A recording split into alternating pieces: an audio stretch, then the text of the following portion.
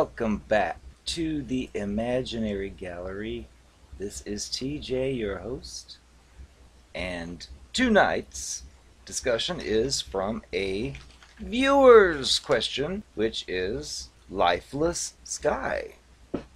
The question is why does the narcissist or otherwise cluster B creature hoover when they are in another relationship and want your help? Well, there are several reasons for this, and I'm going to share some of my own observations as well as reference an article by Zari Ballard. The article's called Narcissistic Partners and the Relationship Agenda, which I will include a link for below. Before diving off into the question, I figured I would start with a little background for those viewers out there who have not heard the term Hoover. Well, we all know that Hoover's the name of a vacuum cleaner, and it's been adopted as a term for the narcissistic monster who you've dated and you've been discarded by, but then, for some miraculous, out of the blue reason, he or she chooses to try to suck you back in like a hoover, like a vacuum cleaner, trying to pull you back into their nasty labyrinth of hell. So that's what we're referring to. Any of you who've been involved with such creatures know that everything can just end like that, and there's like nothing, and all of a sudden, one day, the Hoover occurs, where you're summoned by this monster, and it leaves you thinking, oh my goodness, it can leave you thinking a lot of things, and chances are the person initiating this Hoover knows this. So we'll start off with how do these people Hoover? Well, there are many different ways, more than I'll list here, but one would be a text message out of the blue. You haven't heard from this person in months, and all of a sudden a text comes through. There could be an email just a random email appears, or there could be a letter in the mail, or a card comes in the mail for your birthday or something, or there could be a phone call, which you may or may not even answer. There could be a voicemail message, or the information could come from somebody else, like somebody you know who happens to have close proximity with the monster may come to you and say, I saw the monster today, and he or she is asking about you. All these techniques can be considered hoovers. The most important part of it, though, is they are deliberately subtle. The reason for this is to hide the deception involved. Some examples, which I did take from the article, the type of message you may get through any of those methods mentioned previously could be fake sweetness you might get after this horrifying ordeal with this monster who you found out was doing all these awful things behind your back and so on and then all of a sudden they're gone and months pass and then one day you get a message of some kind that's just generic and peppy hi how are you? Want to make sure you're okay? Something like that which sounds innocent enough or maybe on a special occasion like your birthday, Thanksgiving, or some kind of holiday. Or if you have children or pets, it could be centered around that, such as, Oh, I was really thinking about your dog, Lakeisha. I really miss her. How is she? Which is diverting the attention away from you and focusing on the dog indirectly as a way to get you to respond, or could be a fake family illness or a self illness. Some of these creatures I've read in many places will claim all of a sudden to have been diagnosed with cancer, and they want your support and sympathy. So no matter what they've done in the past, it's all erased and forgiven so you can devote your attentions and sympathies towards their recently diagnosed deadly disease, which is sick because usually it's fake. Also, it could be sex. remember the two of you made lust in such wonderful ways, you might get a message out of the blue saying, I really missed the way that this or that thigh felt when it happened, this and that, da da da. And you may think, wow, ooh, and you'll be tempted to respond.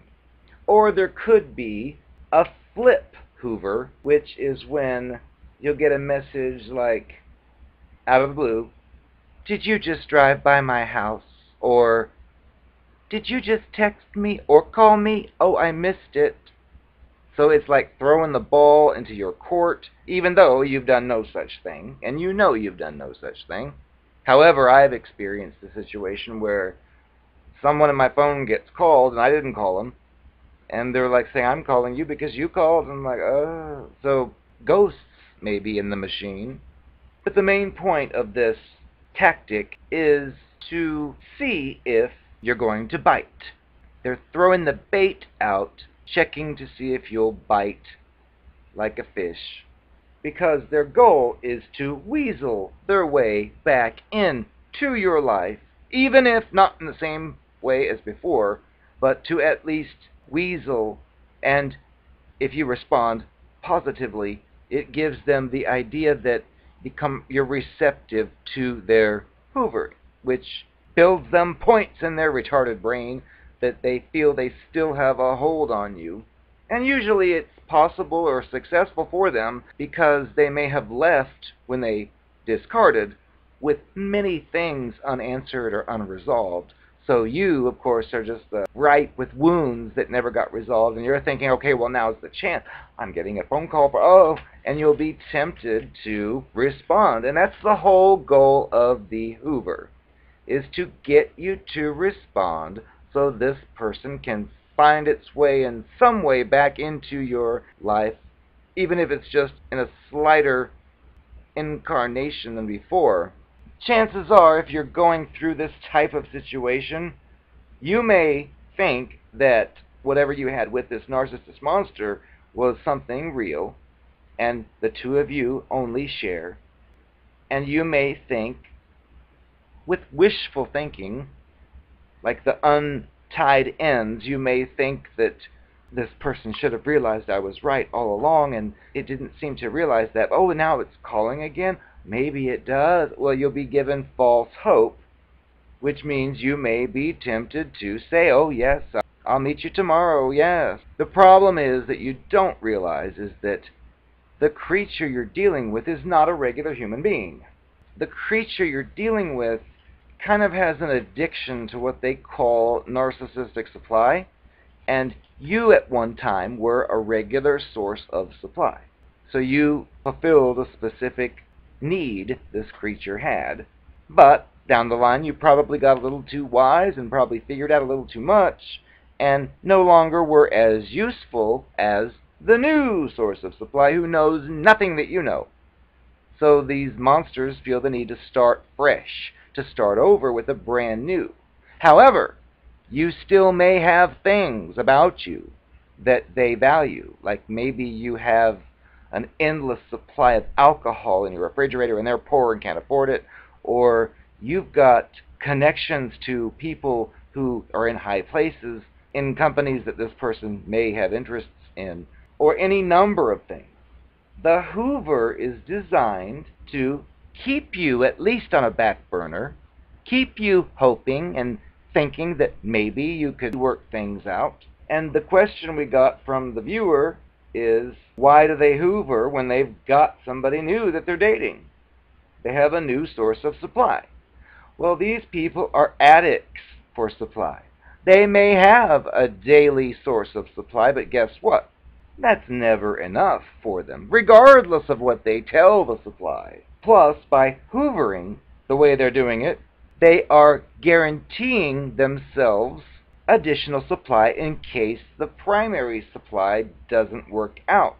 You see? And then in addition to you, there is more than likely six or seven others in the same position, which, I might add, will never be told about the existence of the others, because these monsters feel that they are in charge, they are in control, and they deserve to have all these sources of supply without any of them knowing about each other, they feel that that's their entitlement. And if you or one of them happen to question, uh, well, who's that? It would be, um, that's just a friend. And that's the kind of crap they'll tell you, even though they've got a similar story going with that other person as they have with you. And neither one of you will ever be told about it. This reminds me of a friend I had many years ago, back when the internet was new, back when we had the dial up, as they call it. I remember I got it, I had a computer, and I was chatting back and forth with this friend from school, and he had sent me his email address. Well, then one day he sent me a second email address, and back then your email address was tied to your internet server. So I would see the first one was from AOL.com, the second one was from Microsoft.com or something different, and I'd asked, it's like, why do you have emails from these different, and there was a third one. Why do you have three different emails from three different servers? And his answer was, well, I have three different servers because I want to make sure I can get online. So he was like addicted to being online, keeping in mind that in the years prior, we had no such thing. But then it came about, and we had that dial up connection, and he evidently loved it. So he had the problems we used to have in the old days where the phone line would go down or somebody would call and you didn't have your stuff set up right or whatever the case and maybe the network went down. Well, he wanted to have not just one other option, but two other options. Well, it's the same mentality for the cluster B monster. They want as many sources of supply as possible. And then you may question, well, it's been six months, I haven't heard from this monster, and all, now all of a sudden I'm getting this message. Why now? What's going on now? Well, there are many different reasons for this. One of them could be that things are not going in this person's favor with their new or latest supply that they left you for, for example, which of course you won't be told that was done. It could be that the new supply did something bad or wrong, and the narcissist monster is about to blow this one off or perhaps maybe needs you to create a feeling of jealousy, or the new lover is getting close to figuring out what kind of monster they're dealing with much quicker than you did. That could be a reason. And they know the end is near, so they want to keep you on hand. It also could be that they need something that you have and that they know that you have.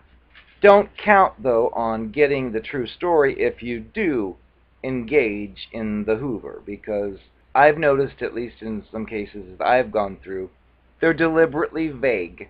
They don't give you any details about what's really been going on. In fact, many times they'll paint a picture of, because it's natural you're going to ask, so what have you been doing for the last six months?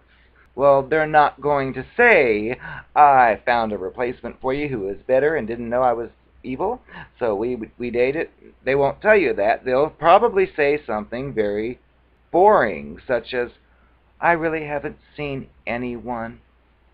I've just been alone with my family and thinking about things, and this is all designed to give you a glimmer of hope that possibly you might be able to get them back into whatever it is you want from them. But they will pull these tricks and leave out details. And then if you happen to have seen or heard about some other person, you may, oh, really, you've been alone? Well, what about Candy Cantaloupes? I heard that you've been seen with her a lot lately. And you'll get some kind of response that will be like, oh, Candy Cantaloupes, well, we're kind of just friends. It didn't work out. Yeah, I didn't like the size of her toenails. Yeah, it didn't work. And you'll be tempted to think, oh, there's hope. There's hope. If you haven't realized yet what you're dealing with. Now, if you choose to go through with this Hoover, there are some important warnings you must be aware of. You have to realize, first off, this type of person does not have any kind of loyalty. You don't know this necessarily, though, because all you know is what you share between the two of you. You have no idea what it shares with the other fools. So the advice is to expect to pick up where things left off with this Hoover. They're going to edit out anything that's happened since and just expect you just to be like things were before it left. And also, keep in mind, it's going to leave you or discard you again, and this time it'll probably be worse than the last time. And you may think that sounds sick and negative, but think about what you're dealing with. It's a demon, it's a monster, and yes, they do want things to be even worse the second or third or fourth time around. And these Hoover techniques are designed to check out your response. See if you do bite. If you don't, they'll try again. That's what they're up to with evil intentions behind it all. In a previous video I had discussed this, which I'll bring up again because it's worth repeating. You, to the narcissistic monster, are simply an object. You're something they can get things from. And that is what they see you. You're utility. You're not a person with beliefs, ideas, and values. You are a source they can obtain something from. So the comparison I've given before would be like you're the best screwdriver in the world. You get that screw in that hole perfectly, and it's perfection every time. However, they set that screwdriver down on their shelf and they find a fancy hammer and they want to use that hammer now. So they leave the screwdriver behind and run off with the hammer, which would be their new supply. But then down the road they realize, oh, I really need a good screwdriver for this. So then the Hoover comes. It could be months, years later you might be thinking, well, this person's got this other person, but you don't know that they've got a hammer and that's all they want. You just think, well, they've got a relationship going. Why are they contacting me? And so you may be tempted to edit out all the bad crap and think of the good stuff that you never resolved and think, well, I'll give this person a chance. Sure, come on over. And then there you are, giving yourself over as that perfect screwdriver again. This may lead you to wonder if you've been through such sickness. You may wonder, does this psychopathic, narcissistic, narcopathic, sociopathic monster ever really miss me? Does he or she ever really feel bad for what it actually did? Ruin my life or tried to? Well, guess what the answer is? The answer is no. This person, you have to remember, has no conscience. This person does know right from wrong, however, doesn't care about it. This person doesn't miss you or love you. This person simply needs you for something you have. And if you do respond to the Hoover and you let this person back in your home and before you know it they're in your bed doing the stuff you used to do, you may think, oh, he or she missed me. I knew it. Well, guess what? It won't be long before he or she is also missing the source of supply that it abandoned recently to be with you. Because, like the internet guy, they want to have a wide range of options available, and they don't feel that each option need know about the other option. It's they treat each one individually as if it's the only one. And that's the game they play. And if you don't have a conscience, well, you can do this type of thing very easily. Because people with a conscience would crumble and break down halfway through and be like, oh, I can't do this anymore. I've been lying to all of you, but not these people. These people see this as a victory, that they've got 20 people at the same time, all begging for their attention, well, that is what you're dealing with with this type of preacher, which hopefully allows you to think it's not so bad that they're gone. In fact, be glad they left voluntarily and you didn't have to exterminate them. Oh, I miss you so much. I know that I was kind of rude last time. I know that I dumped you again and it really hurt you and I didn't answer any of your calls, but you gotta forgive me. This time it's real. Oh, all I could do is think of you and that little yellow blanket you used to love to snuggle up with. Please, please give me a chance. I know I said that last time and then left you again. This time it's different. I promise. I know I promised before too, but this promise counts. Ah! You believed all that crap.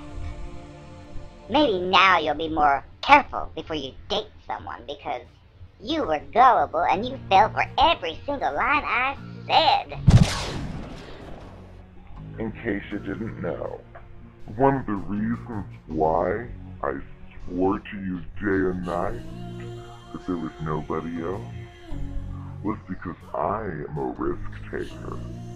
As far as condoms go, those disgusting balloons, if you're gonna put one of those over your rocket, I might as well not even do it because I don't like that. But I knew that if you knew that I was with the whole football team unprotected, and if you knew that I was also with your friends and relatives unprotected, you wouldn't dare put your little rocket inside my Virginia. So I pretended to be devoted to you and to you only, and you bought it. And as a result, I got the raw bareback love I wanted, and there you go. Plus, my insides were full of so much fluid, not just yours. You added to the fluid, but oh, it gave me a thrill to go throughout the day, knowing that I might drip a little here or drip a little there and wonder whose it was. Oh! oh. You asked for it, honey. You got it. Ah!